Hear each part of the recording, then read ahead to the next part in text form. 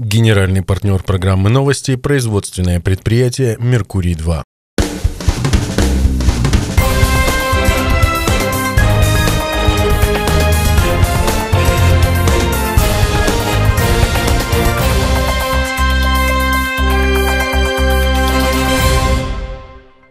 В эфире новости «Анапа регион» в студии Ирина Меркурьева. Здравствуйте. Анапа отметила главный праздник страны – День Великой Победы. Накануне 8 мая в сквере Боевой Славы зажгли огонь памяти. Традиционная патриотическая акция объединила тысячи неравнодушных анапчан. Все они с частицами вечного огня проследовали до морского порта, где были возложены на воду венок и бескозырка в память о десанте, погибшем в 1943 году, освобождая Анапу.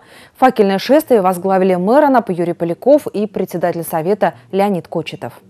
Традиционно каждый год накануне Дня Победы анапчане и гости курорта собираются у Вечного огня, чтобы почтить память тех, кто не вернулся с войны и чьи имена остались неизвестными.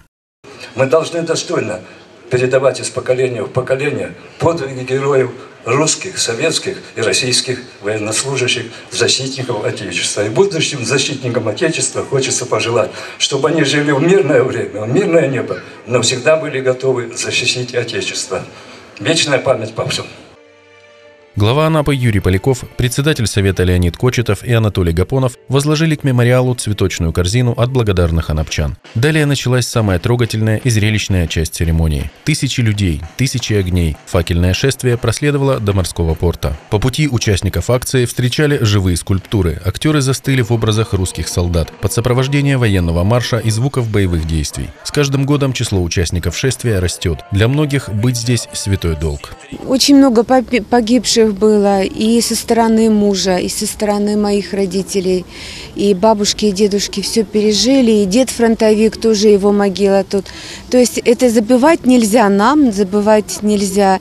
Нужно воспитывать наших детей. И вот своим примером в память о моряках-пограничниках, павших, защищая Анапу, на воду спустили венок и бескозырку. Собравшиеся застыли в минуте молчания. Для нас особое мероприятие. Мы зажигаем свечи э, в честь памяти, в честь памяти э, тех, кто не пришел с войны. Мы отдаем таким образом долг. И даем обещание, что будущее поколение сделает все для того, чтобы не было этого слова «война». В этом году особую атмосферу того времени режиссерам удалось передать через хронику военных лет, транслируемую на водном экране. Курсанты Института береговой охраны исполнили песню «День Победы», дав начало празднованию великой даты в Анапе. Никита Бойко, Ольга Родина, Михаил Григорьев, Анап регион. 9 мая торжества, посвященные 73-й годовщине Великой Победы, начались с военного марша по Театральной площади. Его участники держали равнение на ветеранов. Ветераны принимают поздравления. Они на почетных местах. На центральной площади построены войска Анапского гарнизона, курсанты и кадеты, казаки, те, кто прошел Афганистан и локальные конфликты. Принимает командир 1141-го гвардейского артиллерийского полка, гвардии полковник Алексей Репин.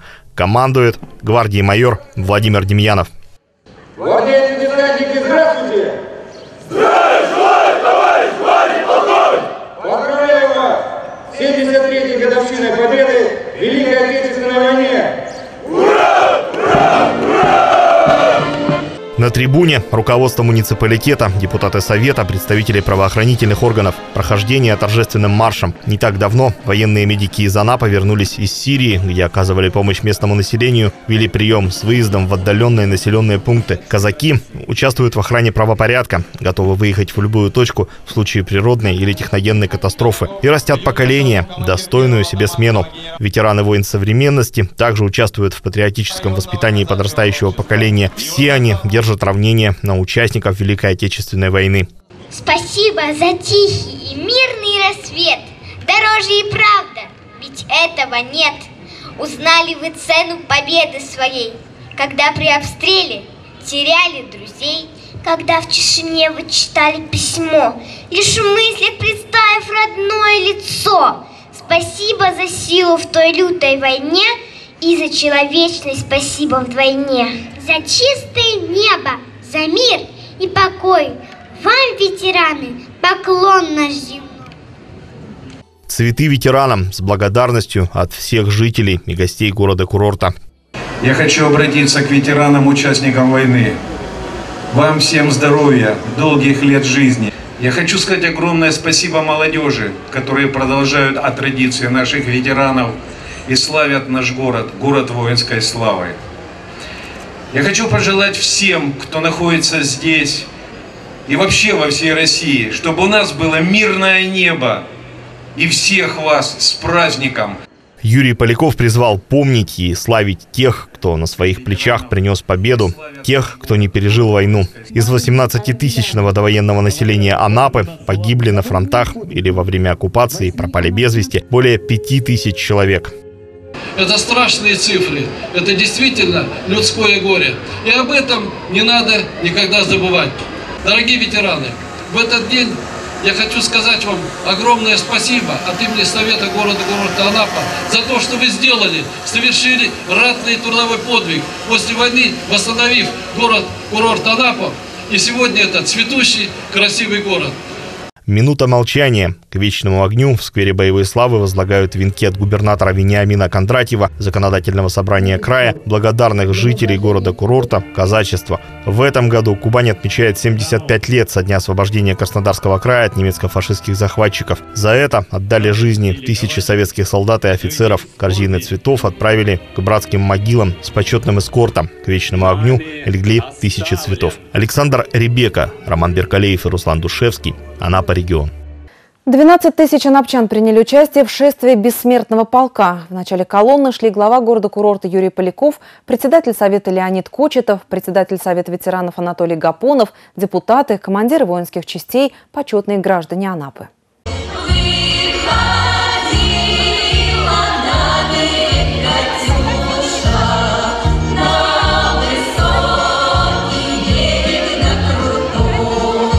Эту песню сегодня знают во всем мире. Она стала одним из символов войны, которая разделила жизнь советского народа на до и после. Именно он одержал победу в Великой Отечественной войне. Но прежде чем над Рейхстагом взвилось знамя, было отступление до Москвы, Ржевская мясорубка, битва за каждый дом и клочок земли в Сталинграде. Помимо противника, врагами советского солдата были холод, нехватка продовольствия и боеприпасов. Все это в той или иной степени легло на плечи тех, чьи портреты несли участники шествия бессмертного полка.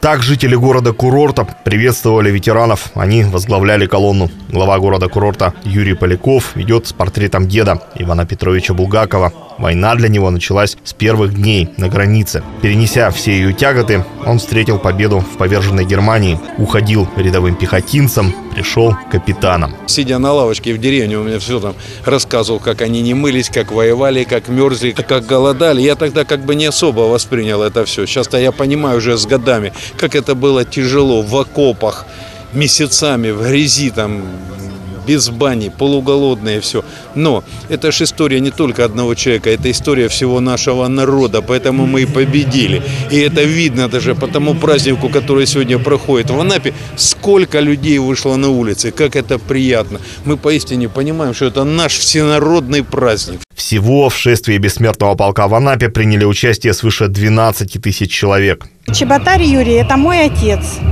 Ага. Э, он был флагманским стрелком-радистом. Отец Татьяны Куликовой был стрелком-радистом на пикирующем бомбардировщике. В училище попал со школьной скамьи. Вторым днем рождения всю жизнь считал день, когда удалось покинуть подбитую машину над Польшей, дотянув до своих позиций. Пулеметная турель – первейшая цель для вражеских истребителей. Бронирования нет, самолетом управляет пилот, ты один на один с противником. Возникала такая мысль, что ну вот и сейчас расстреляют. У них были асы летчики. И однажды мистер Шмидт, когда подлетел и занял такую э, точку, в которой никак не, не, мог, не могли его обстрелять с пулемета, вот, тогда отец выстрелил из ракетницы.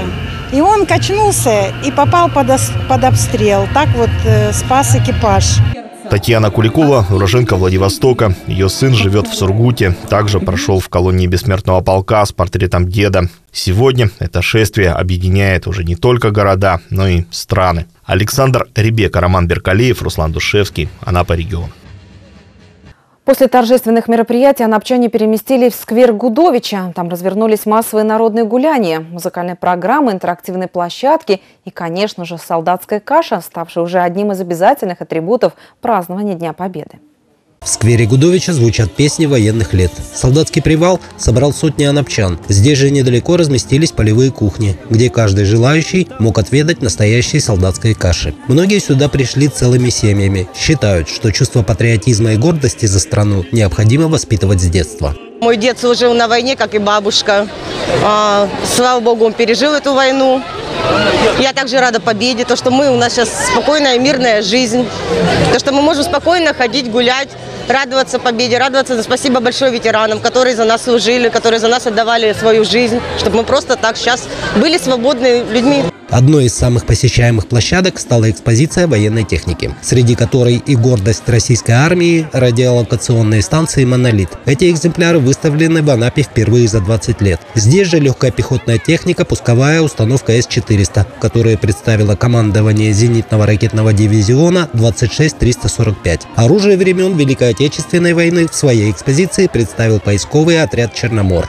Люди, естественно, интересуются историей Великой Отечественной войны, историей рабоче-крестьянской Красной Армии. Ну и как бы это патриотическое воспитание для молодежи. Родители приводят своих детей постоянно из года в год. Приходят уже, приходили сначала маленькие, потом повзрослевшие, а сейчас уже, ну скоро, наверное, будут приводить уже своих детей на нашу выставку, потому что действительно очень интересно, много экспонатов. С каждым годом у нас выставка становится все больше и больше. Сквер Гудовича превратился в большую интерактивную площадку, где каждый мог найти занятия по душе. А напчане вписывали имена своих героических предков на стену памяти. Девочки знакомились с курсами медицинского мастерства, а для мальчишек была организована военно-тактическая игра «Лазертаг» и стрельба из пневматического оружия. Так или иначе, события Великой Отечественной войны затронули каждую семью. Сегодня многие говорят, что День Победы – самый главный объединяющий народы праздник. Объединяет все народы, объединяет э, все слои населения.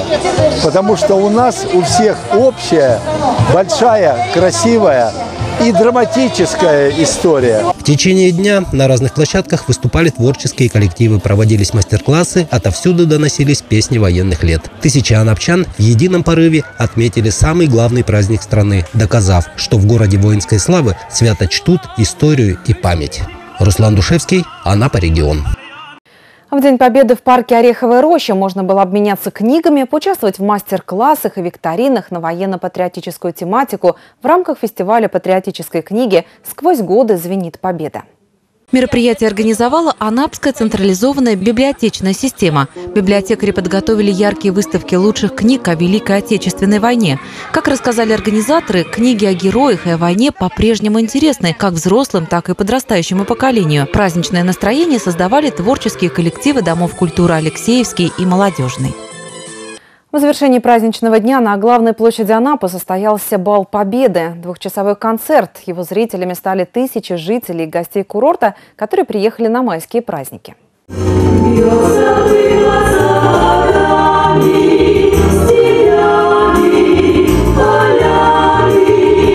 Течение двух часов со сцены звучали песни военных лет. Участники исполняли хореографические композиции. Выступали коллективы города-курорта. Казаки исполнили марш прощания славянки. Гостями праздника стал ансамбль песни и пляски Южного военного округа из города Ростов-на-Дону.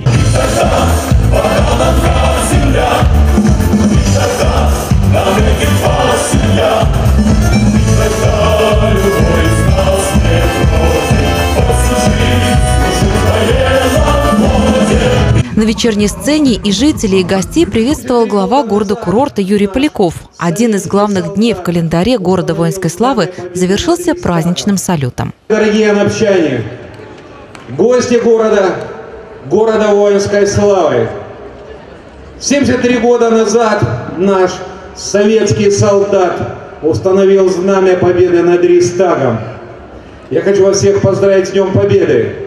Сегодня эта победа, наша победа. Всем удачи, здоровья, с Днем Победы!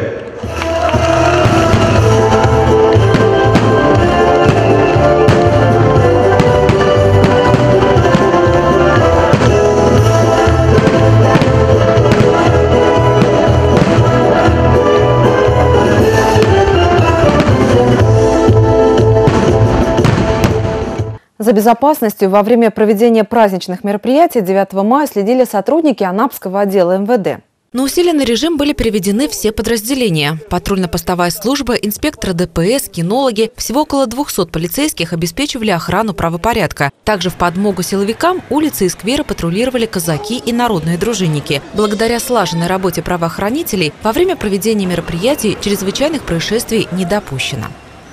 Как остановить атаку самоваром и почему довоенное поколение рвалось на фронт? Об этом ветераны рассказали в беседе с нашими корреспондентами. В эти дни их поздравили депутаты городского совета, представители территориального общественного самоуправления вместе с юными анапчанами.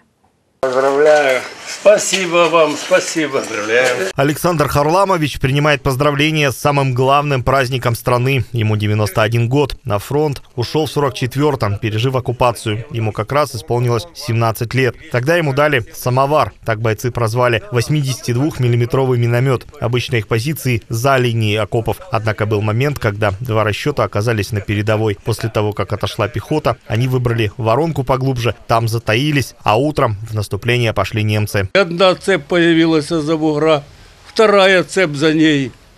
Ну, видно, это самое, они все пьяные, молодые, киндер вот это все.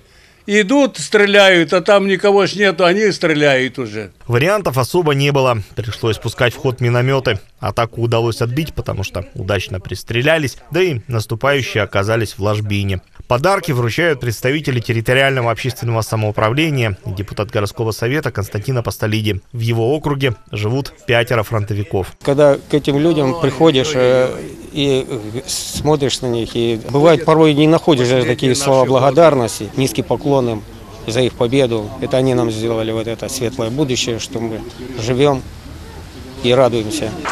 Гордость города и пятой школы Раиса Васильевна и Николай Корнеевич. Константин Апостолиди работал, а до этого учился в пятой школе, где Раиса Васильевна трудилась преподавателем. Ее муж ушел на фронт в 16 лет. В военкомате сказал, что ему 17 по научению одного из офицеров. Ты чего плачешь? Я говорю, да вот, меня не берут. Он наклонился, говорит, а ты скажи, что тобі 17 років. Я воспрянул. Для меня было принципиально быть в рядах Красной Армии. Ребята пошли защищать Родину, а я буду сидеть дома. Вот. Это очень обидно. Сегодня юные казачата благодарили ветеранов за победу, за то, что не сдались и пообещали никогда не забывать их историй. Александр Ребека, Михаил Григорьев, Анапа регион.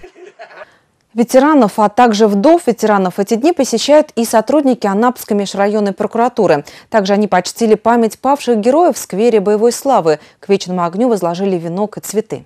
После окончания войны немало ветеранов получили юридическое образование и поступили на службу в надзорные органы. Также сотрудники прокуратуры вспоминают коллег, которые ушли на фронт и не вернулись. Мероприятие проходит уже около 10 лет. Как пояснили ведомстве, оно помогает сохранять преемственность поколений, а пример фронтовиков важен для тех, кто в мирное время стоит на страже интересов граждан. Новый памятный знак открыли в хуторе «Рассвет». На гранитной плите высечены имена хуторчан-героев, не вернувшихся с фронтов Великой Отечественной войны. Мемориал – это лишь часть проекта нового сквера, который в ближайшее время появится в «Рассвете». Более 20 жителей хутора «Рассвет» не вернулись с войны. Но их подвиг не забыт. Имена героев увековечили на гранитной плите у аллеи памяти. На митинг в честь открытия мемориала хуторяне пришли целыми семьями. У многих в руках портреты родственников, погибших в годы Великой Отечественной войны. Мы пришли тоже почтить память тем людям, которых с нами нет. Нельзя забывать тех людей, которые дали нам жизнь. Хуторе «Рассвет» остался всего один ветеран – Иван Карабак. Он принимает участие во всех военно-патриотических мероприятиях, общается с молодежью, рассказывает им о войне. Для Ивана Степановича открытие памятника особенно важно. На мемориальной плите имя его родного брата. Спасибо всем, что еще радует нас, ветеранов, еще позволяет нам еще жить без хлопот. Спасибо. Я считаю, что для подрастающего поколения это необходимо. Это настолько сейчас э, веление времени такое, что нужно молодежи, постоянно подросткам говорить о нашей победе. И чтобы они помнили историю страны, а история страны начинается с каждой семьи, с каждого поселка, вот мы на сегодняшний день внесли тоже лепту в историю нашей страны. Памятный знак – это часть большого проекта. Здесь возле аллеи памяти уже заложен новый сквер. В нем предусмотрены пешеходные дорожки, зоны отдыха и тренажерная площадка. Помощь в строительстве объекта оказывает руководство турецкого потока. Первый этап работ планируется закончить в течение двух месяцев. Никита Бойко, Ксения Сипко, Михаил Григорьев, Анапа регион. В Анапе зажигали «Майские звезды». Так называется открытый фестиваль творчества. Подать заявку для участия мог любой желающий. В этом году главной тематикой конкурса стала Великая Отечественная война. Визговал хриплый голос Аришки Булкиной. И я запомнила их морды. Я им. Нет у них правов хватать меня. Я с господами офицерами в дружбе. Никто не знал, зачем их согнали. С тех пор, как над городом повис флаг со свастикой, худая молва укоренилась за этим пустырем. Это выдержки из повести Николая Бирюкова «Чайка» про комсомолку Катю Волгину. Она помогала партизанам, занималась агитацией. Девушку казнили, но за нее отомстили, убив и предательницу, и гестаповца-палача. Из самых ярких моментов формируется небольшой рассказ для чтения со сцены. По сути, краткое содержание, но авторским текстом. Этот жанр Эдуард Никитович освоил еще в молодости. В середине 50-х годов он приехал руководить клубом в хуторе «Заря». Читает без бумажки, хотя и признается, что отдельные фрагменты сегодня упустил. Запомнилось когда-то, ну, читал, много вещей читал и читаю, люблю читать. И поэтому я решил, ну, как сказать, стариной тряхнуть, что ли.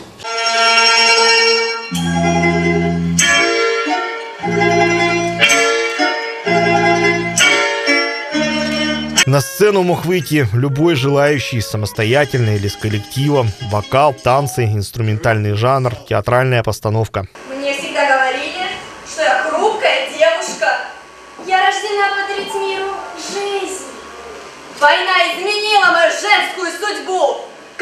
моей стране грозила опасность, я встала на защиту Родины. Всего около 150 участников, никаких предварительных просмотров, все номера жюри видели впервые. В итоге должны зажечься майские звезды, так и называется фестиваль. Цель прежде всего консолидировать все творческие силы, которые есть в городе и районе, показать самых лучших, самых э, талантливых. Приятно, что в районе появляются такие фестивали, и они как раз позволяют всем без исключения попасть на большую сцену. Отдельная номинация – конкурс для прикладного и изобразительного искусства. Эти работы из хутора «Большой разнокол». В студии занимаются девочки, самым младшим по 8-9 лет. Интересно участвовать, показывать свое творчество, какие-то грамоты получать. Для всех участников такие конкурсы – стимул к саморазвитию. Каждое выступление перед зрителями – повод провести работу над ошибками. Аналогичные мероприятия в этом году пройдут в Виноградном, Витязево, а также в Джигинке. Александр Ребека, Михаил Григорьев. Анапа регион. Далее информация о погоде на завтра. Партнер прогноза – фабрика мороженого «Ангария». Если настоящий йогурт объединить с нежными сливками и добавить активные бифидобактерии, то получится вкусно и здорово. Пломбир на йогурте «Ангария» – это когда вкусно, полезно.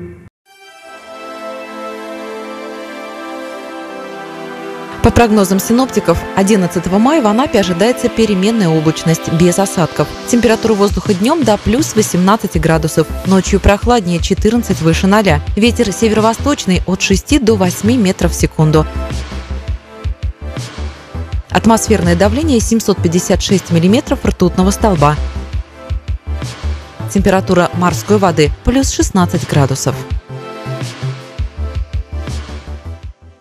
Далее информация о партнерах программы. Производство на предприятии «Меркурий-2» успешно ведет строительство многоквартирного комплекса «Кавказ». Строительная компания приглашает приобрести надежную недвижимость по разумным ценам. Еще один наш партнер, тренажерный клуб «Витязь», предлагает привести в порядок фигуру по специальным сниженным ценам. Не упустите возможность. Все выпуски новостей вы всегда можете найти на нашем сайте anaporegion.ru. Я с вами прощаюсь. До встречи. Доступные квартиры в комплексе «Кавказ» от надежного застройщика «Меркурий-2» в курортном районе Анапы. Детские и спортивные площадки, автопарковка, квартиры с видом на море, рассрочка оплаты. Первая и вторая очередь уже сданы в эксплуатацию. Звоните 48 300. Тренажерный зал «Витязь». Все виды тренажеров. Отдельный кардиозал, женский зал, школа бокса. И, конечно, настоящая спортивная атмосфера. Абонемент для женщин всего от 800 рублей. «Витязь», Анапа, Самбурова, 254. Мы делаем спорт доступным.